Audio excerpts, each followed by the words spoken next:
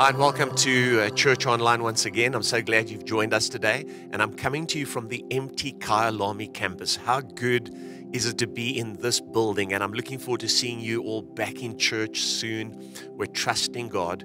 But in a moment, we're going to cross over to Sandton for our live worship from the team over there. But before we do, I just want to mention today that the president has called for today to be a special day of national prayer. So take time today with your family or individually to pray, bring the nation to God, trust God for a cure, and pray for all the people that have been afflicted, all our uh, health workers. And let's really go before God and believe Him to really meet our needs today. Well, let's take time now to worship. I want to encourage you to enter in. I'm excited about the teaching of the word today. I'm really looking forward to teaching from the word. And if you lean in with me, we're going to get real benefit. But let's really get God's touch on our lives. Let's worship together right now.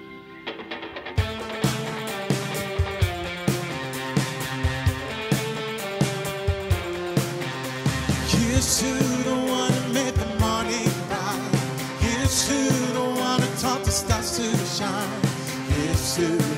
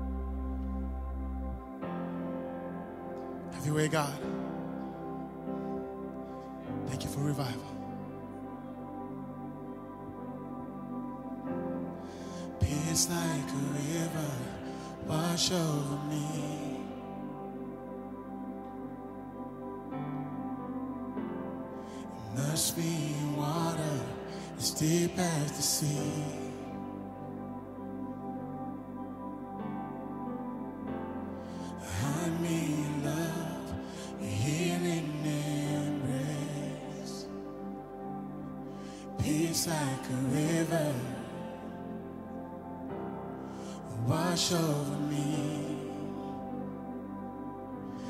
as I worship your majesty. I worship your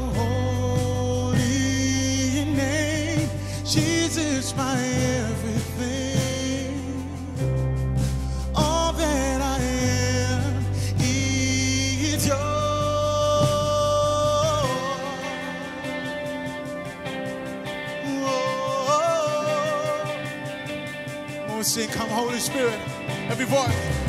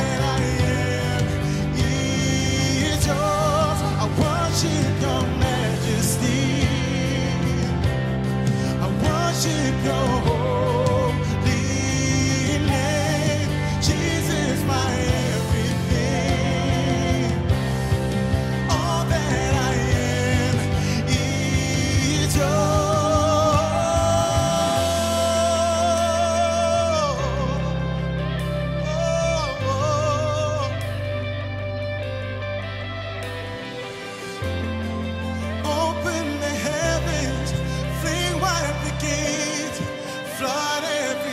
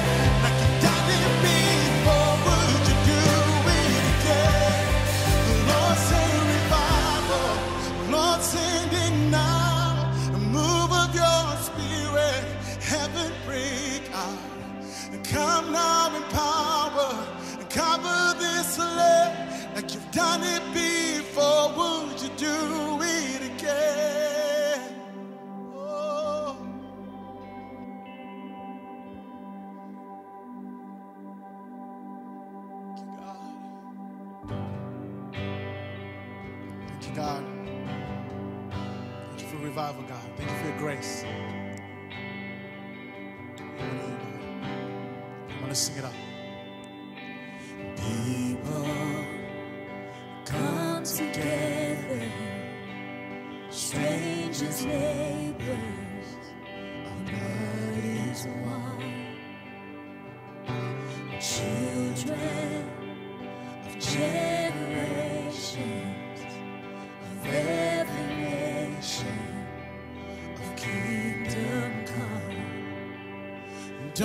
let your heart be troubled. Hold your head up, I don't feel no evil. Fix your eyes. Fix your eyes on this one truth. God is madly in love with you. So take courage, hold on, be strong.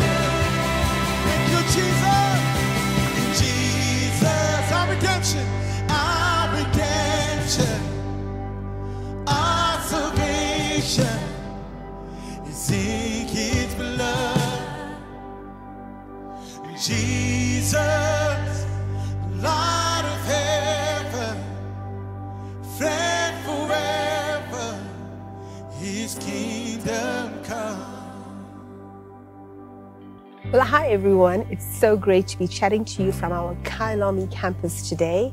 And you know, we've got a very interesting week ahead of us as a nation. We're going to be moving to level three lockdown, and for many of us, we might be going back to work. Our kids could be going to school.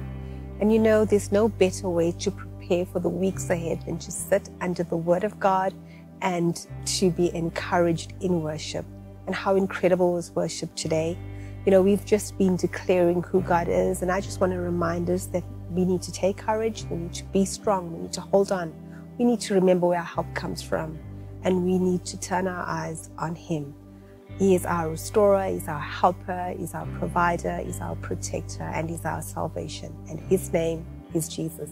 Hey, if you don't know this Jesus that we've been singing about or talking about today, you're going to have an opportunity to respond to Him at the end of this service. You know, I'd love to read a couple of verses from Psalm 46, a very encouraging psalm, especially over this period. And I'm going to read to you from the voice translation, just a verse or two, and it says this God is our shelter and our strength. When trouble seems near, God is nearer and He's ready to help. So why run and why hide? Don't you love that? No matter what we're going through, God wants to help us through our situation. He's closer to the trouble that you are facing right now. Verse 2 says this No fear, no pacing, no biting fingernails. Now, that could be a word for someone today. It says, When the earth spins out of control, we are sure and fearless. And you know what? It might seem like the world is spinning out of control. None of us ever envisaged that we will enter 2020 dealing with what we are dealing with. But you know what? We need to, especially as believers, be sure about who we believe in and what we believe. And we need to remain fearless during this time. You know, today you could be saying, Kogi, in my own personal world, it seems like it's spinning out of control. My finances seem to be spinning out of control. My relationships are taking strain, especially during lockdown. My body seems like it's failing. You know, you may be a person that's living alone and it's just highlighted your anxiety or depression. But you know, verse 10 of that exact psalm says, Be still and know that I am God. And today I want to encourage us to not be fearful, to be still, know that He is God and He can come through our situations. We need to be creative, we need to be innovative, we need to be intentional, and all of that's great. But we need to put our trust in the God of heaven that can get us through our situation. And I'd love the privilege to pray for us today and commit our needs to God. Father, we declare today that you are our strength. We pray for every single need represented here today, big or small. You hear the cries of your people. You know their concerns, Father, and we're trusting that you will come through in every situation. We pray for healing in bodies, Father. We pray for restoration in relationships. We pray where there is lack that you will indeed provide for your people. We pray, Father, for businesses that are struggling, that you will give us creative, innovative ideas to recreate businesses. Father, we pray that they will see abundance in the season and that they will see the benefit in our economy in the weeks and months to come. Father, we declare today that we will stand on your word, that we remain confident that we will see the goodness of the Lord in the land of the living. In Jesus' name, amen and amen. Hi, everyone. I hope you're well on this winterly day. As we come around our giving, I wanted to tell you about a story in the book of John, John 20. It's the story of Mary Magdalene, who came to the tomb of Jesus on the Sunday after he died. When she arrived, the tomb was empty and Jesus was gone. Mary started to cry. An angel asked her a question, But why are you crying? And she said, Because they have taken my Lord. What she didn't understand at the time was this the tomb may have been empty, but the mission remained the same. During this time, we've endeavored to make sure that we can provide a stream into as many households as we possibly can. And during this month, we've delivered 320,000 meals to people in need for food. Also, if you've attended Rivers Church and you haven't had data, we've made sure we've got a way to reach you so that you can get data to watch one of the Sunday streams. Our church buildings may be closed, our campuses may be closed, but the mission remains unchanged. 1 Corinthians 16 2, Paul speaking to the Corinthian church reads, On the first day of every week, each one of you should set aside a sum of money in keeping with your income. Now, you need to know this. If you don't have income right now, we are praying for you, we are praying for your family for full restoration, even more so than before. But if you are able, Paul encourages us here to set aside a sum of money every week. And just like Proverbs 3 9 tells us, that when we honor the Lord, when we bring our first fruits, that our barns will be filled. There are many ways in which you can give today. You'll see them listed on the screen. You can give via our direct deposit straight into the church. You can download the Rivers app and give through the app, or you can download SnapScan and there's a barcode on the screen that you can utilize. Before we commit our offering in prayer today, I want to encourage you to ready your heart for an incredible word Pastor Andre has planned. But let's commit our offering today. Dear Lord, we bring our offering before you, Lord God, and I ask you to bless the faithful, Lord God. But I also ask you this morning that you would find favor for those in desperate need, blessing upon blessing, in your precious almighty name. Amen. Well, as we get into the word today, I want you to really lean in, make some notes, because I'm excited to teach on this topic. And you have to stay with me all the way through. Don't lose concentration, because if you do, I really believe you're going to benefit. And I'm excited to speak on this topic today. Maybe initially you'll think, oh, gee, but stay with me because it's going to get really, really encouraging. And I think we're going to see something fresh and new in the scripture. So let's pray together. Father, thank you for this opportunity that we can dig into your word and we can find the treasures and the truths that can help us in our lives. I pray that you'd speak to every person that's watching me online and that you'd cause us to benefit today and to be encouraged and instructed in Jesus' name. Amen. Well, as I begin today, I want to tell you a story about an Austrian triathlete by the name of Natalie Birli. In 2019, she was out training on her bicycle when a car banged into her and she fell onto the ground.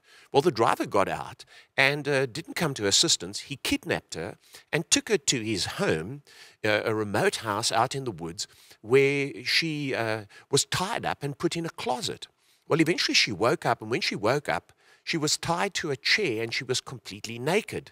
And uh, she said that he, she was blindfolded initially, and the man started, you know, treating her badly, and uh, he forced her to drink schnapps, and he held a knife at her. And she knew, man, I, I'm in trouble here. This is a very dangerous situation.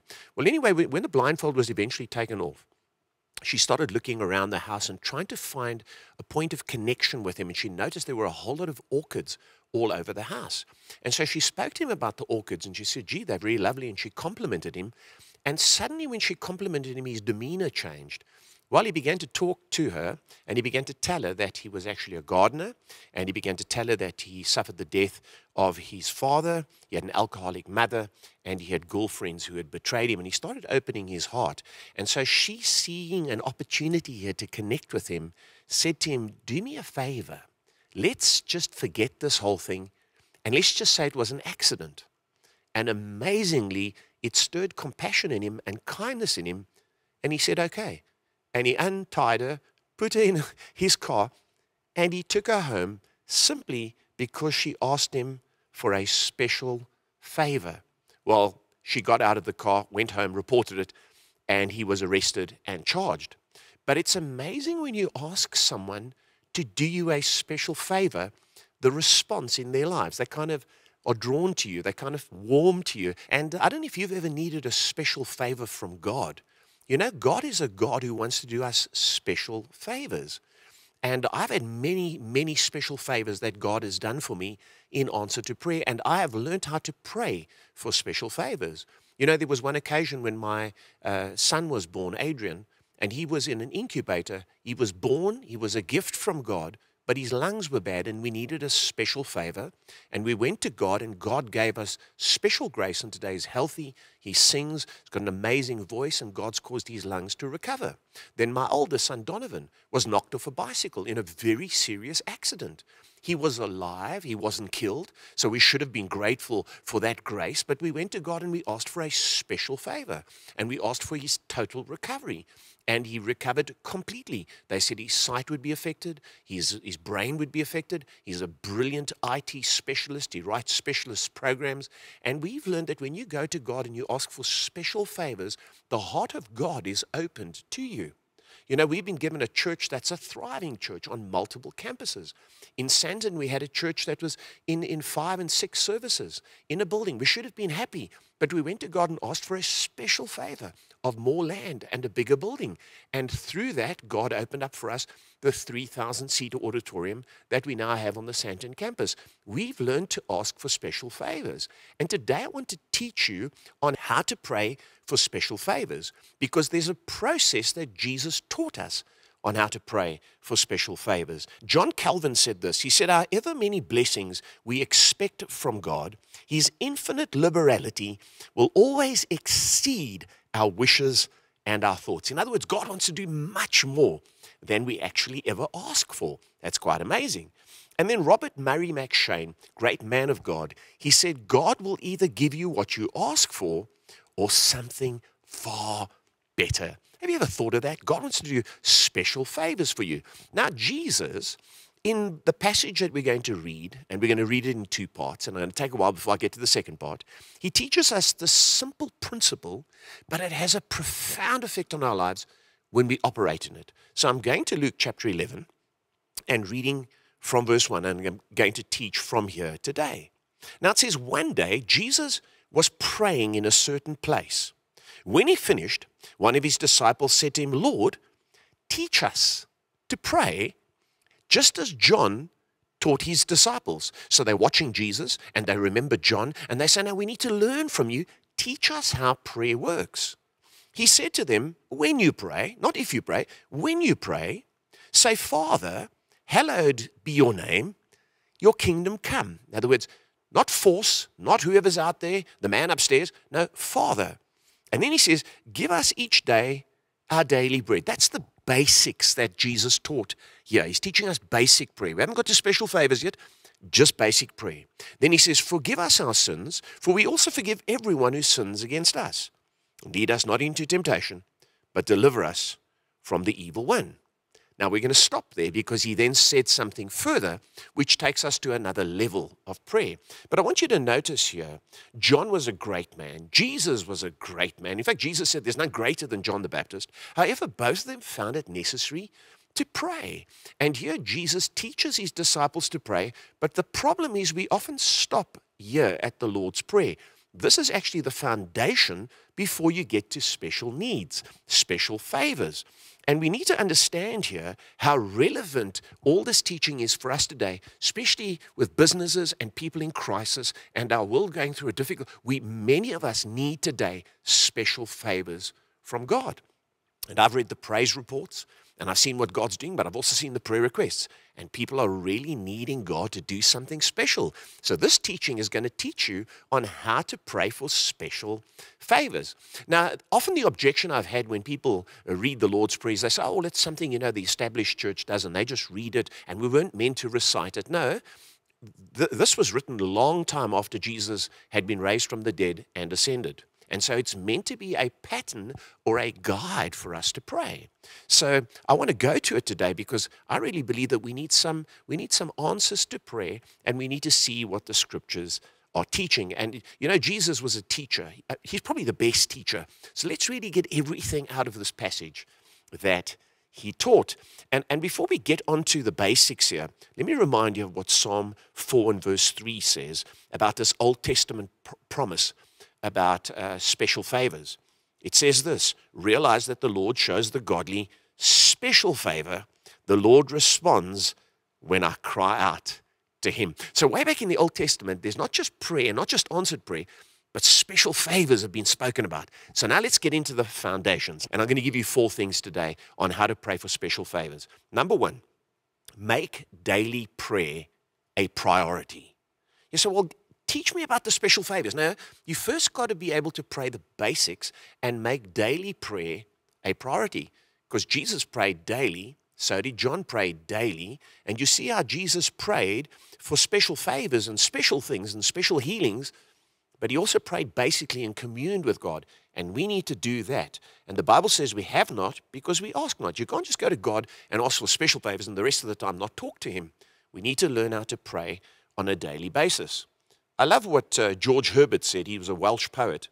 And he said, Prayer should be the key of the day and the lock of the night. In other words, you should start your day with prayer. It should be routine. And Jesus and John made it so. They started the day, they ended the day. And you'll see Jesus prayed at his baptism. Jesus prayed before he chose the 12 disciples. Jesus withdrew alone to pray. And uh, Jesus prayed when the crowds increased and the needs increased. He prayed on the Mount of Transfiguration. And uh, if Jesus had to pray, then surely we need to understand that we need to pray too. And prayer is a bit of a discipline and it can feel almost like a grind, but it is the answer and the provision for every need. F.B. Meyer, the English pastor, said this. He said, The greatest tragedy of life is not unanswered prayer, but unoffered prayer, because we're not in a routine. Now, Pastor Wilma and I pray every day at a set time, and uh, we pray in the morning, we pray in the evening, but we pray together at a set time, during, especially during this time, because we've got a list of people we work through. We pray for our family, mention them by name, then we pray for our staff, mention them by name, pastors, people we're believing for. And currently, there are two people that we're praying for and believing for special favors because they've got cancer. So we bring them by routine in our daily prayer, and then we go into the level of special favors where we're asking God to do something very unusual. And prayer has to be practiced because it's like a muscle. When you don't use it, it gets limp and it becomes weak. And if the devil can get you to not pray, he's won a victory over your life. And so we need to pray, and we need to pray for our country, we need to pray for our family, we need to pray for our children, our finances, for our emotional well being, for our spiritual growth, for our businesses. And we need to make it a priority, and it needs to be regular and systematic. And that's why Jesus gave them the Lord's Prayer. Now, before we move into that, quickly here, Thomas Watson, the English preacher and author of the 1600s, he said, Prayer delights God's ear, it melts his heart, it opens his hand. God cannot deny a praying soul. So you've got to establish a priority of prayer before you can even get to praying for special favors. Now, number two, Jesus' teaching use God's pattern of prayer. You see, the Lord's Prayer was given as a pattern for our basic, ordinary needs. And it's a profound pattern. Uh, first, there's worship, Father in heaven, hallowed be your name. You start with just worshiping God and honoring Him for who He is and addressing Him as Father, knowing that He's our Father in heaven who wants to provide. And, and this is a wonderful pattern for prayer because it deals with God the Father, who we pray to, the Son who forgives us, and the Holy Spirit who leads us. It deals with our past, our sins, our present, our current needs, and our future. Lead us not into temptation. So it deals with the three persons of the Godhead, the three periods of time, and the three phases uh, of, of our lives. It deals with others, ourselves, and it deals with God. And so here, there's this basic prayer, the foundation that you need to pray daily for your basic stuff. Give us this day our daily bread and forgive us our trespasses or our sins as we forgive others. This is, like the foundation. And, and, and he, he was teaching that if you do this regularly, you do it by routine, you follow this pattern, then you get to go into the next level, which is special favors. Now, Andrew Murray said this. He said, each time before you intercede, be quiet first and worship God in his glory. That's the Lord's Prayer. You start off there. Father, hallowed be your name. You start in worship. Then he went on to say, think of what he can do, and how each time he delights to hear the prayers of his redeemed people.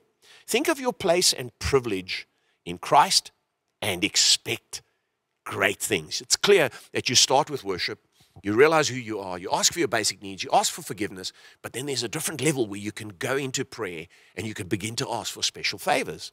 Now, number three, we need to persist in prayer for special favors.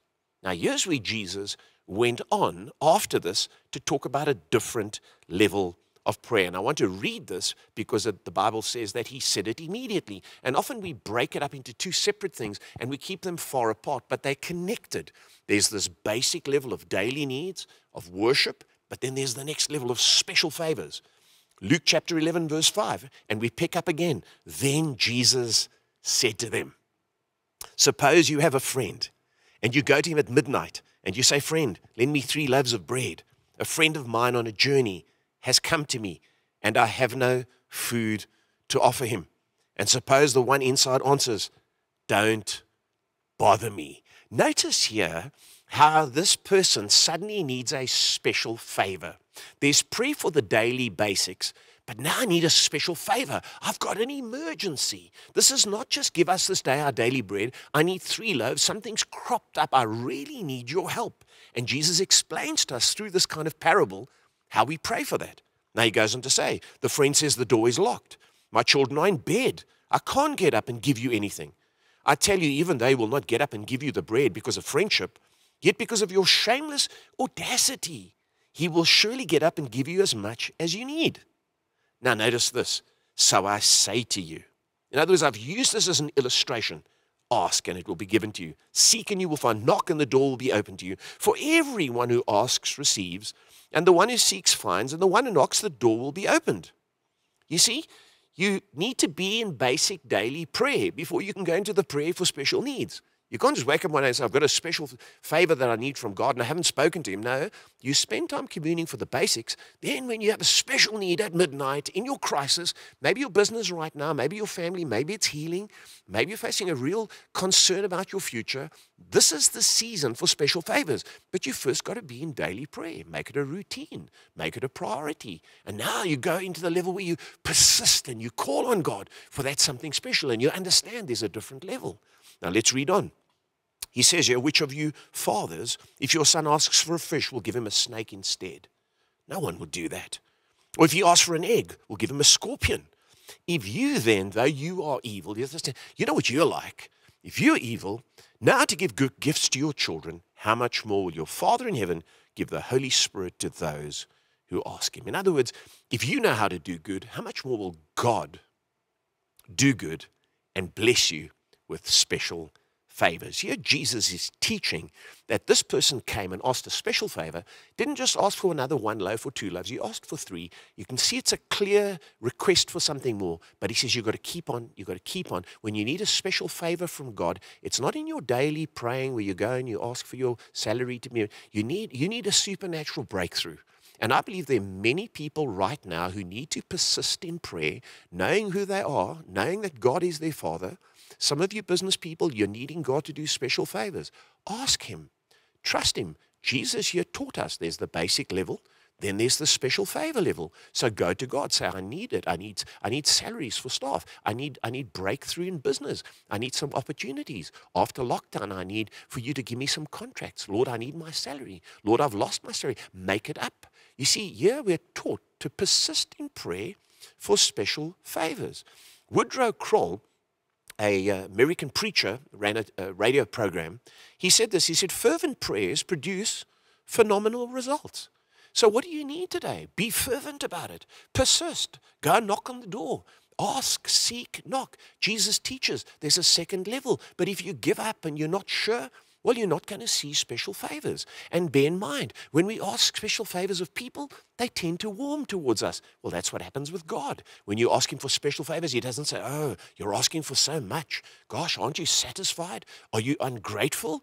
No, God goes, Oh, they trust me. And it warms the heart of God, just like it warms people. And He responds to our needs. Now, if you remember in Scripture, there's another uh, person who asked Jesus for a special favor, a woman called a Canaanite woman, Syrophoenician in some translations. She was not from the, uh, she was not a Jew, and uh, yet she came and asked Jesus because her daughter was demon possessed. And the Bible tells us in Matthew chapter 15 that she needed a special favor. Now, how do you get special favors? Well, you've got to persist. You don't, you don't just throw them up into heaven and, or pray on a very surface level. No, you go to God and you don't give up until you get it. She came here in Matthew chapter 15 and she asks Jesus for her request. It says in verse 25 the woman came and knelt before him. Lord, help me, she said. He replied, It is not right to take the children's bread and toss it to the dogs. The Gentiles were referred to as dogs, they were outside of Israel. And Jesus is saying, I've come as Messiah for the Jewish people primarily. Yes, it is, Lord, she said. Even dogs eat the crumbs that fall from their master's table. Then Jesus said to a Woman, you have great faith. Your request is granted. and her daughter was healed at that moment.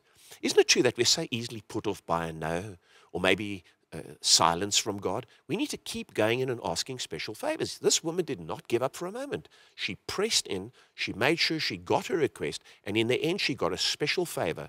She was a Canaanite, she was outside of the tribe of Israel, she was a woman alone in public, but because of her persistence, she got a special favor from Jesus. You see, she had been given a daughter. She had a child. She should have been grateful. No, she said, I want a well child. I want a child that's strong. I don't want a child that's affected by demons. And I want to tell you today if you've got children that are addicted, children that are in trouble, don't just be glad while my child's alive. Pray for special favors and persist so that your child can be full of God's favor, God's blessing, and be the best that they can be. Leonard Ravenhill, the great revivalist from England, he said, God doesn't answer prayer, He answers desperate prayer.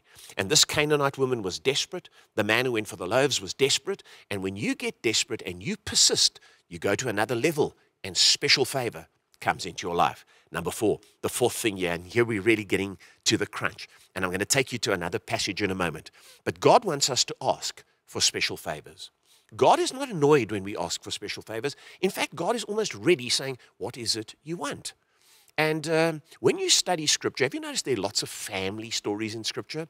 Abraham and Sarah, and Moses and his family, Miriam and Aaron, and David and his family, and Absalom, and uh, Jacob, and, and Leah, and Rachel, and Laban, his father in law. And you read lots of family stories. And the reason they're in the Bible is because they've got spiritual significance. When you study them, you see, hey, this is similar to me and my family. And if God can do it for them, He can do it for me.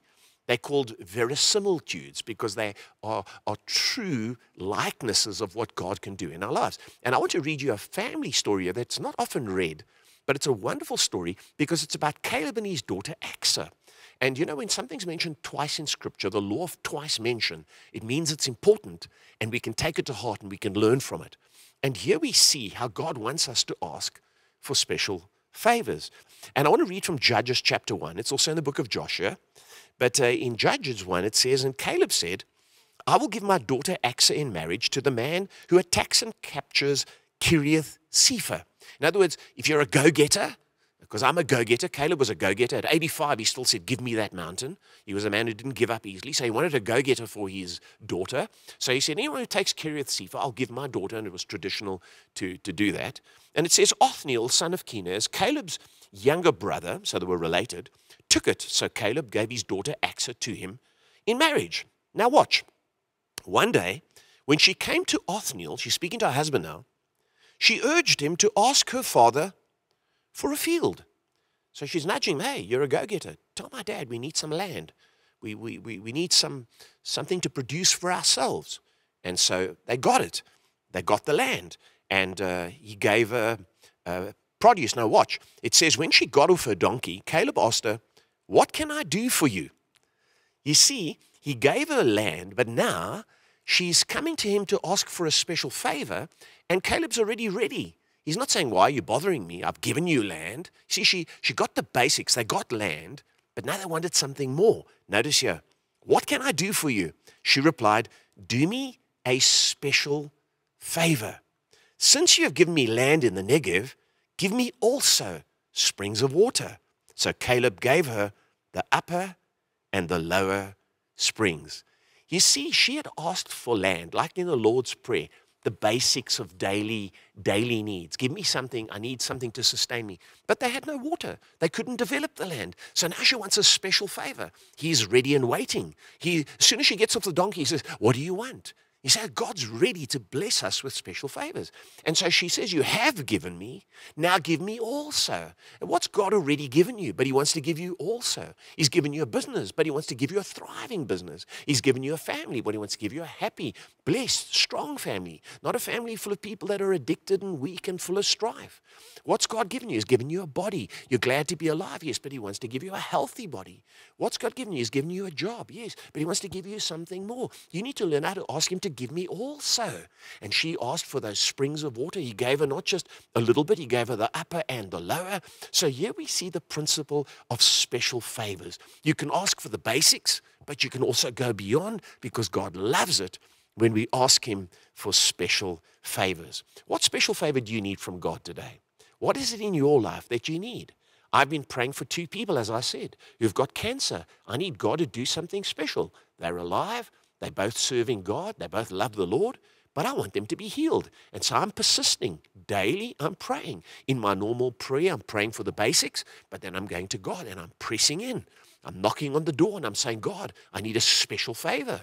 I want the health of these two people in my life. I want you to bless them. And I'm praying for my son in England and for his family because I want God to do something special in them. We need to go to God today, whether it's business, whether it's family, whether it's your personal life, whether it's an addiction, whether it's something you're struggling with. Don't say, well, oh, I'm just glad, I'm just glad to have a little bit. No, God wants to do special favors. And when you understand that principle, you'll begin to pray like this on a daily basis. And I think the time that we're in right now, requires special favors. I'm sure out there you'd agree with me today that you need special favors. There are business people today who need special favors. And we've seen from the prayer requests, many of you need special favors. And you know, when you need special favors, God is drawn to you. Now, as I come to a close, I'm going to pray in a moment. But I want to tell you about Benjamin Franklin, one of the founding fathers of America. He was involved with politics and he was in legislature and, and there was opposition. And one day he went to a man who was one of his political opponents. And he asked him to lend him a book. And the man agreed to lend him the book. They were adversaries. And then he read the book and then he returned the book to the man. And uh, he thanked him profusely. And he said, from him asking him for that favor to lend him the book and then going back to him and thanking him, the man was drawn to him, and from that time on, they became friends. And that man began to show him great kindness. That man's heart opened towards him. They became closer when at one time they were adversaries simply because he asked the man for a favor. And you know, that's what happens amongst people. That's what happens when you go and knock up your friend at midnight and say, Hey, can you lend me? The favor draws people together. I've discovered that when we draw near to God and ask Him for favors, He draws near to us. And James tells us here in this simple verse, James chapter 4 and verse 8, draw near to God and he'll draw near to you. So when you go to God and you say, I need you, Lord, and, and you really get close to him and you really persist, suddenly he draws near to you. And I've had people say to me, Where's God in my crisis? Where's God in my need? Well, you need to go and ask for special favors. And when you draw near and you begin to believe that He's your Father and you begin to ask for special favors, suddenly God draws near. His presence becomes real. He answers your prayers and you see amazing things happen in your life. I want you to trust God today for your special needs. And I want you to trust Him and ask Him for special favors. Don't just pray, don't just run through a list. Go beyond and begin to trust God for special favors because from Scripture we can see He wants us to come. And when Achsah came to her father Caleb, we see a picture there of God and us. And he said, What do you want me to do for you? And he gave her upper and lower springs. Maybe today you've got a need. Let's bring it to God. But I also want to say this there's a picture here in this passage of her asking for the Holy Spirit. And you may not know that today is actually Pentecost Sunday.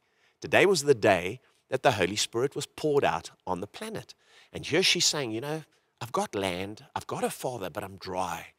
And he gave her upper and lower springs. And if you're a Christian today, you say, I'm, I'm serving God, I'm hanging in there. No, no, God wants to give you more than that. He doesn't want to just give you a, a belonging to the family, He wants to give you an infilling, and He wants to give you the upper and the lower springs. And you can trust Him for the Holy Spirit to overflow in your life because Jesus said you'd get rivers of living water that would flow out of your soul. Well, today, if you've got a need, I'm going to pray for you. And if you want a touch of the Holy Spirit in your life, you might be a successful person, you might have a lot going for you, but there's a barrenness, a dryness. Maybe you're a pastor or a leader, and you say, Man, I've been grinding at this, and I've been, you know, I feel like I've got nothing. Trust God for a fresh infilling because He wants to give you upper and lower springs today. Come, let's pray together. Bring your need to Him, bring your life to Him. Father, I pray for every person who's heard this teaching today as we bring our special favors to you and we commit to persist. Would you grant us our needs? Healing, breakthrough, breaking of addictions, uh, financial provision, relationships being restored. Lord, so many people are carrying so many burdens and so many needs at this time. And I pray for most people who need special favor, because this is a special time we're going through. Special favors. We trust you for whatever they are, and we present them to you today. And we believe that you're a good Father who's standing ready to give us what we need right now in Jesus' name. Then I pray for people that need to be filled with the Holy Spirit on Pentecost Sunday. Fill them with rivers of living water. Lord, the upper and lower springs. And, and Caleb was glad to pour that out. I know you're glad to pour that out upon your people. Refresh your people, refresh all rivers members. If they weighed down and they've been dried out, fill them with living water. And we thank you that you're a God who loves us. You meet our basic needs but you want to meet our needs in a special way, and we trust you for that going forward. In Jesus' name, amen and amen. Well, I hope you've experienced a touch of God. I hope the simple teaching was profound in its simplicity. And I hope you'll learn to pray by way of routine, that you'll learn to pray uh, at that next level where you persist, where you know that God wants to give you an answer to special favors and you'll experience His richness in your life. If you prayed with me today, and maybe you prayed for the very first time and you've asked God to fill you, go onto our website. You'll see there wonderful details there on how you can walk with God. You can go on a journey with God. And uh, we've got great resources for you that you can uh, use to grow your spiritual life. I've written a number of books that you can avail yourselves of online, and you can replenish your soul and trust God to fill you with the Holy Spirit and to keep you until we meet again next time online. God bless you all. Come on, we sing. Father in heaven, holy is your name. Your kingdom come, your will be done on earth as it is in heaven.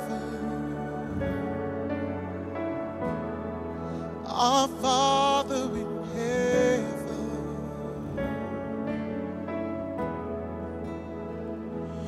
Lead us not into temptation. God deliver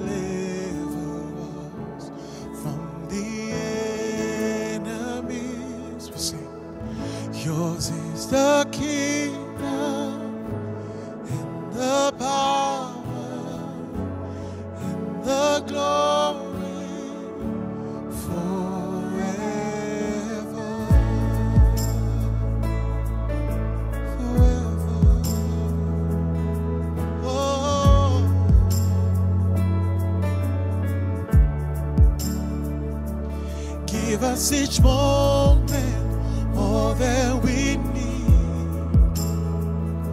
Forgive us our sins as we forgive the ones who have sinned against